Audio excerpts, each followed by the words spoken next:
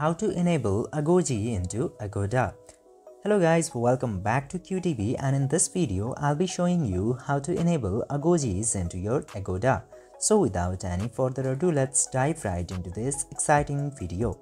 Now, in order to enable all these Agojis, you just simply have to open your Agoda application at very first. Then go to the more section and from there, you will get to see this Agoji section below the travel achievements. Just simply select this Agoji section and into here as you can see I have only one Agoji enabled among this 6 Agojis. Just simply tap into the Agojis that you want to enable and below that Agoji you will get a task into every single one.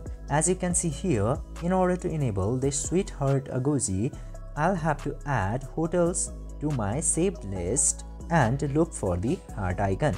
And whenever I complete that one task, this Agoji will be enabled. Same way, if you enable every Agoji, there will be either one or two tasks. You have to complete the task and you will get the Agoji.